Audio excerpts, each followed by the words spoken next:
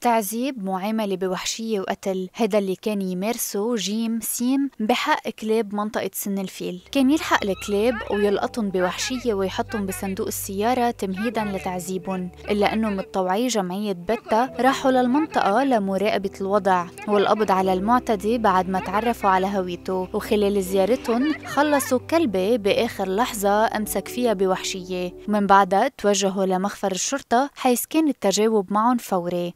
وتقدموا بشكوى واليوم وبعد سنتين من العمل المستمر وللمرة الأولى بلبنان رح يتم معاقبة قاتل الكلاب وفقا لقانون الرفق بالحيوان القديم. وحكمه هو الحبس عشرة أيام ودفع غرامة بقيمة 20 ألف ليرة لبنانية ودفع تعويض وقدروا 4 ملايين ليرة لبنانية لجمعية بتا وببيان أكدت الجمعية إنه العقوبة مش عادلة بس هذا الحدث اللي صار لأول مرة ببرهن إنه القضاء اللبناني انتصر. ومنذكر إنه حسب قانون حماية الحيوانات والرفق فيها الجديد اللي تم سنة 2017 العقاب هو بمبلغ بيتراوح بين 3 ملايين و50 مليون ليرة لبنانية والحبس خلال فترة بتتراوح بين 3 أشهر وسنتين حسب القانون 47 ليبقى السؤال هل القاتل شخص بحاجة لمعالجة؟ وبعد انتهاء مدة الحبس تبعه هل رح يعاود تعذيب الحيوانات؟